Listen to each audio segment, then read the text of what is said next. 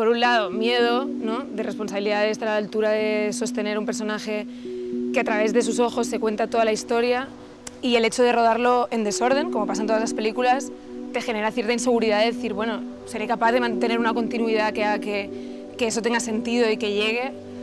Y ha sido como un acto de fe y de dejarme llevar y de confiar en el director y en el equipo y en mí misma y bueno, pues lo he hecho, lo he hecho y lo he disfrutado. Bueno, yo creo que El increíble fin de Menguante es una película muy generacional.